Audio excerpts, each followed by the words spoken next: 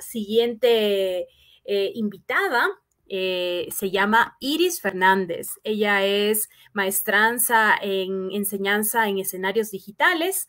Eh, se desempeña como docente universitaria y otros roles de asesoramiento en instituciones públicas. Desde 1990 trabaja en la enseñanza de la informática. Durante la pandemia creó el grupo Clementina, que es sobre software, hardware y cultura libre en educación en en Argentina. Entonces, ella también es coordinadora del, libre, del libro Breve Guía sobre Distros. Ella nos explicará más, también software libre para gente pequeña y software libre para nivel medio. Pues bienvenida Iris, es un placer poder tenerte aquí. Qué maravilla, yo, eh, pues eso, qué, qué, perfiles más hermosos que tenemos acá de invitados del día de hoy. Eh, y bueno, eso, bienvenida. Gracias, muchas gracias.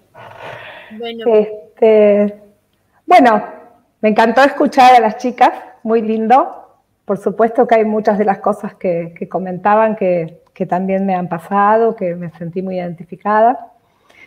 Este, por ahí podría empezar contando un poco eh, acerca de mi carrera, porque yo soy licenciada en educación, es decir, mi oh. primer título yo, pues humanidades, ¿no? Claro, mi primer título es de maestra, maestra de escuela primaria.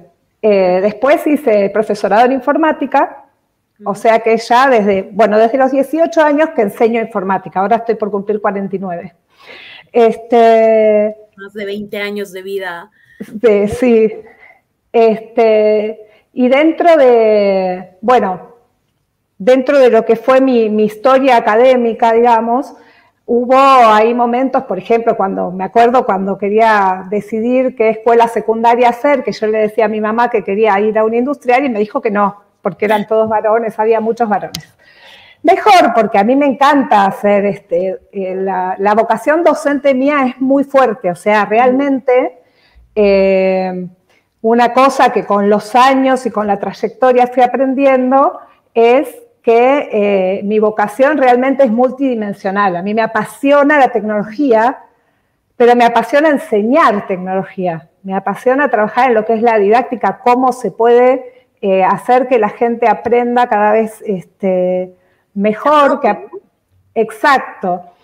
Eh, pero además, dentro de lo que es la tecnología, lo que me fue pasando, estas son cosas que a uno le pasan, ¿no? Como, como que la corriente te lleva me fue pasando que a mí lo que me gustaba, lo que me apasionaba, era todo lo que tenía que ver con los aspectos sociales de la tecnología. Es así que yo, aparte de ser, este, maestra, licenciada en educación, profesora de informática, me dedico especialmente a militar por el software libre, la cultura libre, este, por otra parte la accesibilidad web, es decir, el acceso de las personas con discapacidad a la tecnología, este, bueno, también he enseñado robótica y, trabajo empezando recién ahora con un poco de impresión 3D, pero eh, básicamente siempre lo que me eh, preocupó mucho es el tema del acceso tanto de las personas con discapacidad como de las personas con menores recursos. Este, lo que digital, ¿no? Claro.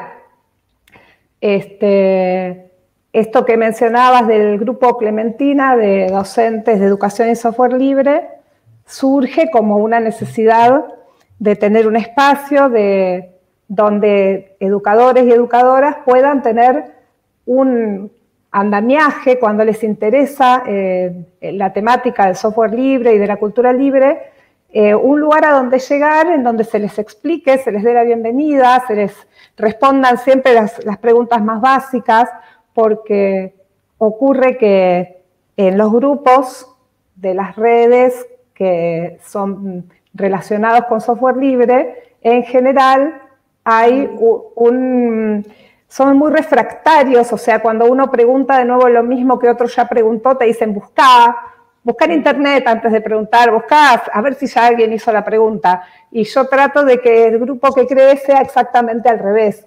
Y siempre les digo a todas las personas, acá se van a hacer siempre las mismas preguntas y está bien.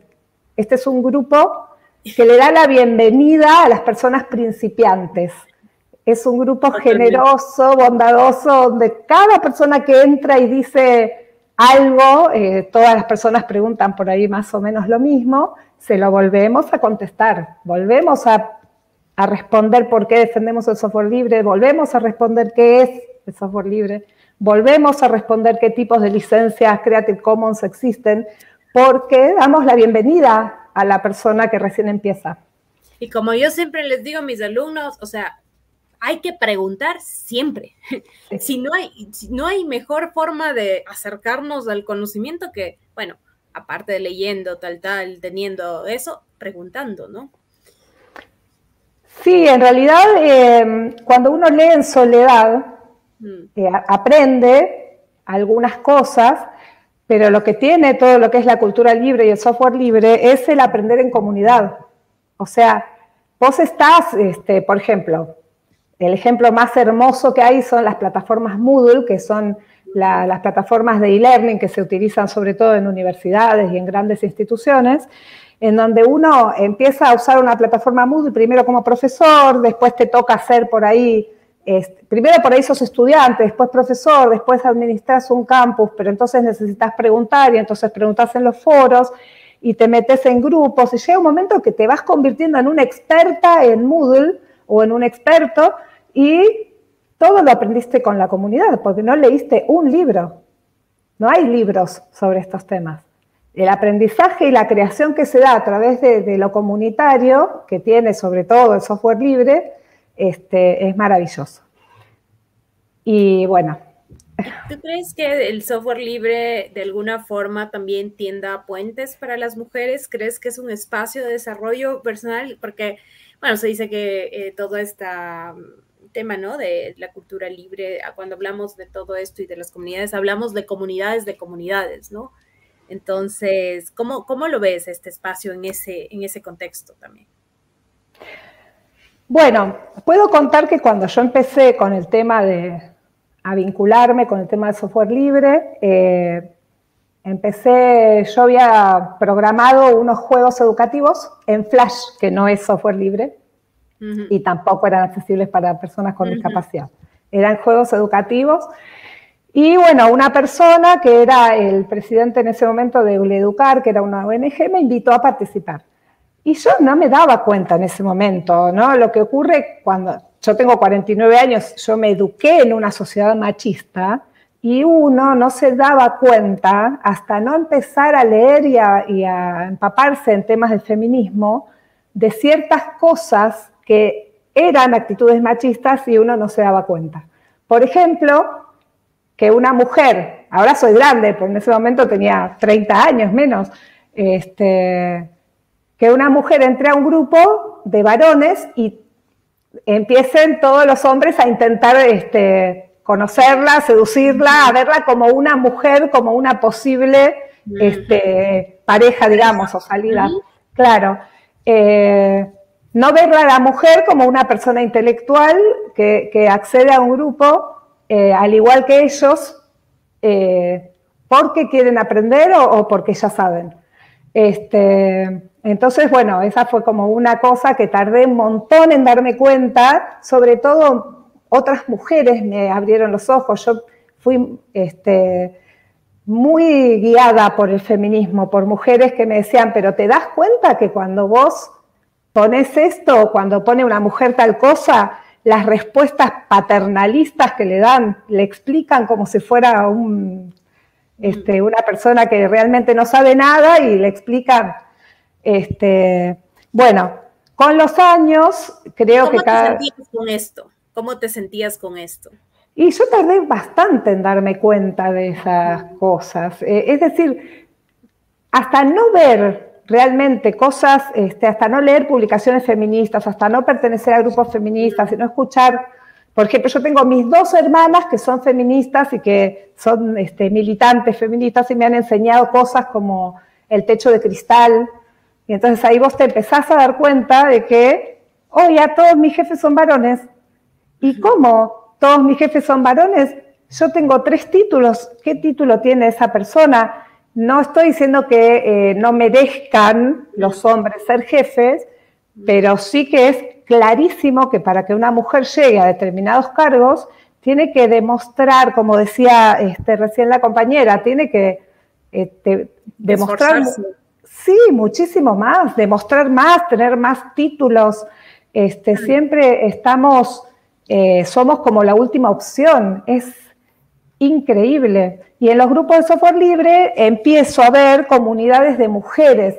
Cuando, cuando nos organizamos entre nosotras, cuando nosotras armamos este, nuestros propios grupos, creo que eh, adquirimos una fuerza y hacemos ver a otras mujeres que son bienvenidas. Es decir, creo que es muy importante en eventos como este en el que estamos ahora, este, el interpelar a las mujeres, decirles, esto es para vos, este lugar es para vos, eh, te estamos esperando a vos, mujer, a que vengas a este ámbito, a este espacio. Eh, porque muchas veces eh, las mujeres se sienten fuera. Yo me acuerdo perfectamente cuando le daba clases a, una a un chico, iba a la, a la, casa de un chico a darle clases particulares y en un momento le comento algo a la madre sobre la computadora y ella me dice, la madre del chico, que ella lo único que sabía hacer con la computadora era limpiarla. La limpiaba. Y esa era la, visión que tenían las mujeres de sí misma en su vínculo con la tecnología. Y, yo quería agregar un tema, Iris, y que me parece también importante, que lo he mencionado en otro contexto hace algunos años también, en temas de justamente de, esto, ¿no? De mujeres en la ciencia. Porque claro, ¿no? Como, tú mencionas, lo mencionó Gaby también, esto de que hay que esforzarse más, ¿no? Como para, para decir. Pero a mí también me gustaría como eh, digamos, de alguna forma insistir en que de todas maneras, pese a que muchas mujeres quizás no tengan títulos profesionales, igual somos muy valiosas, ¿no? Porque de hecho yo creo que, sea, aprovechar este contexto también para decirlo, yo, posiblemente mi madre eh, pues no, no terminó una carrera, eh, no es científica, pero me ha enseñado a reparar, no sé, el, baño, la de esta, ¿sabes? Mi científica favorita es mi madre y no, no fue a la universidad, pero realmente puede hacer muchas cosas y realmente eh, todas nuestras madres o muchas personas que quizás, muchas mujeres quienes no han logrado quizás, eh, eh, digamos, ocupar este espacio, pero ocupan muchos otros espacios de la vida de, de nosotros, ¿no?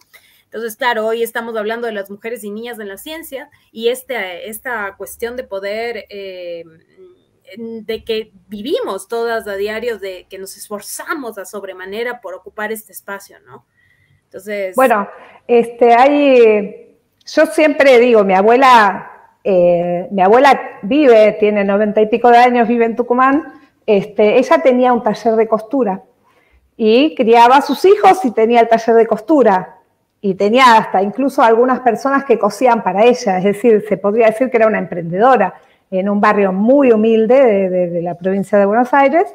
Este, mi mamá, ya de grande, o sea, de, su título secundario era perito mercantil, no trabajó durante nuestra infancia y de grande, cuando se separó de mi papá, empezó a estudiar y este, estudió bibliotecología y hizo una carrera espectacular. Mi madre fue un gran modelo para mí de ver una persona estudiar, estudiar, estudiar y estudiar. Y no importa que la casa esté desordenada, lo que importa ahora es estudiar. Eh, quiero decir, cuando una mujer en esa época, ¿no? Estoy hablando de hace 30 años, este, decidía estudiar, lo único que podía, digamos, ¿de dónde podía sacar el tiempo? Bueno, entre otras cosas, de dejar de ocuparse tanto de la casa y de los chicos, ¿no? Este, yo misma cuando fui madre suspendí un poco mi, carrera. Yo estaba estudiando la licenciatura en Ciencias de la Educación este, presencial, pero decidí ser madre. Realmente yo tenía muchas, muchas ganas de ser madre y encontré que podía continuar mi carrera en la Universidad Virtual de Quilmes. Y eh, me recibí de licenciada en educación, ya habiendo nacido mis hijos, gracias a la existencia de la educación virtual. Y creo que es por eso que me dediqué a la educación virtual, porque para mí, eh, si bien hay mucha gente que dice, creen que es de menor calidad, eh, creen que lo valioso, dicen, no, no, pero lo valioso de la presencialidad, del contacto con la gente. Sí, sí, pero el nivel de posibilidades que brinda la educación virtual a mujeres o, varones que tienen hijos chiquitos, a personas con discapacidad, a personas que viven en pueblos chiquitos en donde no tienen ahí la universidad. La educación virtual es una herramienta de inclusión fundamental, sí, tal cual. Tal cual, yo, a mí fue lo que me permitió recibirme de licenciada y lo que me permitió empezar a trabajar, porque durante la primera infancia de mis hijos yo trabajaba en educación virtual, dando clases, escribiendo clases, contenidos, mientras estaba con mis hijos. Cosa que los hombres no tenían que hacer, aclarando, ¿no? Yo tenía que hacer las dos cosas a la vez. Estaba eh, trabajando y estaba con mis hijos. Este, así que y a propósito de lo que dices, es, es gran parte, y eso creo que la pandemia ha visibilizado justamente ese traslape de, roles, ¿no? Eh, justamente porque evidentemente sí, eh, ¿qué pasaba? Que muchas mujeres estaban, eh, digamos, trabajando en casa, al igual que los hombres, pero claro, el rol de la mujer en la casa, pues siempre ha sido mayor, con, con muchas excepciones quizás, pero claro, es ahí donde la pandemia ha podido también visibilizar estos, estos, digamos, estas desigualdades que tenemos, ¿no? Sí, sí, sí, visibilizó varias brechas la pandemia. La brecha de género también, eh, bueno, particularmente puedo hablar de mi país, la cantidad de gente que, no tiene acceso a las, que, no tenía conectividad, que no tenía computadora, gente que no tenía ni celulares para, para continuar con chicos que no tenían para continuar su escolaridad porque no tenían celulares. Bueno, este, en cuanto a las brechas de género, sí, realmente se notó como un montón de, situaciones, eh, la mujer tenía que estar a la vez este, dando clases o trabajando con los chicos, pero los hombres no, estaban eh, exentos. Evidentemente hay todavía una estructura que yo, que todos vemos que está empezando a cambiar los chicos y las chicas de ahora son diferentes, por suerte, y gracias al feminismo. Pero este, mientras más avanzamos en edad, todavía vemos ese tipo de esquemas en donde las mujeres tienen que ser mujeres orquestas, hacer muchísimas cosas a la vez, y los hombres están exentos. Este, y eso, bueno, influye también cuando tienen que elegir un empleado o una empleada. Muchas veces hemos escuchado, no quiero tomar una empleada mujer porque se embaraza. Y tiene licencia. No quiero tomar una empleada mujer porque falta cuando tiene reunión de padres. Este, cuando el hijo se enferma. claro, que fíjate que, la, no sé, acá en Argentina se llama reunión de padres y van todas madres. Ah, cierto. Tendría que llamarse reunión, de madres. madres de familia, sí, sí, sí. Claro. Sí, bueno, entonces, bueno, ya como tú nos has comentado en tu experiencia, Iris, y, bueno, todos estos, estos, digamos, vivencias, ¿no? De, por ejemplo, sentir esta, eh, que cuando uno entra a una carrera, eh, pues eso, ¿no? No, no se nos ve por, por, por eso, por todo el talento, la inteligencia, esto. ¿Tú qué recomendarías a estas jóvenes mujeres eh, que apuestan por, bueno, yo diría por cualquier carrera, pero sobre todo aquellas carreras que están en el campo de la tecnología, ¿no? Y que, y que bueno, y que hay todos estos todavía, aunque tú mencionas esto hace 20 años, pero que lastimosamente todavía se siguen viviendo, ¿no? Todavía se siguen experienciando ciertas vivencias de este tipo. ¿Qué, qué recomendarías a todas estas mujeres? Bueno, yo lo primero que les digo a todas las chicas es, la carrera o a lo que te vas a dedicar vos todavía no existe. ¿Sí? O sea, pensá que cuando yo estaba haciendo secundario, no existía la educación virtual, ni la robótica educativa, ni la impresión 3D. Entonces, no tenés que estudiar, lo que vos vas a estudiar ahora es un primer este, camino que vas a seguir pero después esto se va a ramificar, te vas a especializar, te vas a mover, vas a combinar.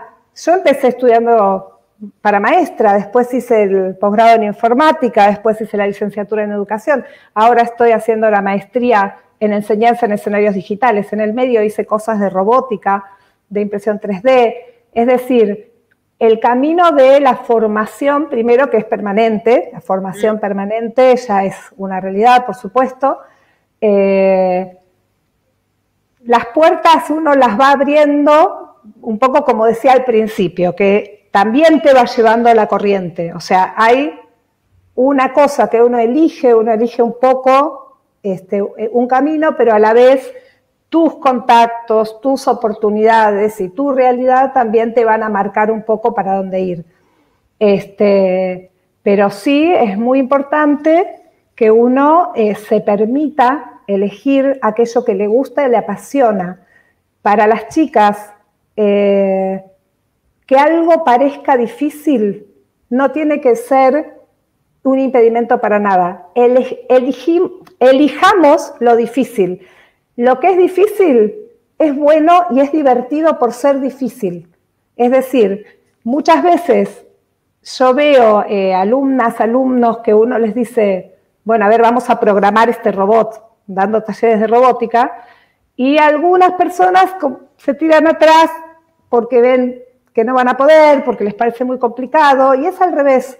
Hay que tomar los desafíos, hay que creer eh, eh, que uno va a poder, hay que participar en comunidades, no, quedarse sola, participar si vas a una institución, de las reuniones que haya, si hay centro de estudiantes, si hay talleres, si hay festival de instalación de software libre. Participar de la comunidad es lo que te va haciendo crecer y te va abriendo puertas y te va haciendo conocer gente maravillosa que después va a ser tu modelo y que después van a ser aquellas personas que a la vez te abran otras puertas. De acuerdo. Y cuéntanos justo en eso, ¿qué es el grupo Clementina? Porque, o sea, para saber un poquito, porque eh, si, supongo que si nació durante el contexto de la pandemia, ¿cuál era el enfoque ahí, Iris? Bueno, la idea del Grupo Clementina es eh, reunir docentes, educadores, educadoras que eh, quieran aprender qué es el software libre, que quieran hacer consultas sobre software libre, sobre cultura libre, tanto sobre Linux o sobre, no sé, un grupo cualquier... de apoyo, de conocimiento. Sí, pero a la vez es un grupo de apoyo, pero a la vez generamos un montón de cosas. Por ejemplo, en el grupo escribimos este libro sobre distribuciones de Linux. Este, en el grupo... ¿De pequeña? Ese lo escribimos en un grupo anterior, este que yo te contaba, que fue al que me invitaron, que no existe más, que se llamaba Gleducar software libre para gente pequeña y el otro para nivel medio. Este, también en el grupo Clementina hicimos ya dos ciclos de, de videos, videoconferencias, digamos, en donde mostramos cosas, enseñamos cosas. Este, y básicamente lo que más funciona es el grupo de Telegram, en donde todo el tiempo estamos este, compartiendo nuestras dudas, nuestras vivencias, este, debatiendo, también por supuesto que hay bastantes encontronazos porque justamente esto que yo digo de no esquivar lo difícil incluye tampoco esquivar el debate. El debate es bueno, este, en el debate se aprende, en las discusiones se aprende a argumentar y para argumentar tenés que saber y para saber tenés que investigar. Estar en estos grupos en donde se intercambia tanto información como se intercambian ideas y posturas, uno aprende mucho. Y ese grupo, o sea, eh, bueno, funciona, entiendo, en Telegram. ¿Es un grupo donde solo hay gente de Argentina o tienes como una comunidad amplia? Porque digo, para que de paso quienes nos estén viendo y estén interesados, de, bueno, más bien les hacemos la invitación, porque además el software libre es, una oportunidad para una educación eh, libre, ¿no?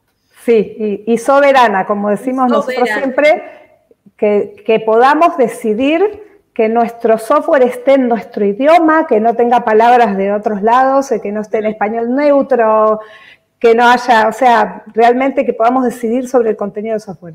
El grupo Clementina tiene un sitio web que es clementina.org.ar. Ahí pueden encontrar varias cosas, incluyendo el libro y el enlace de invitación para el, grupo de Telegram.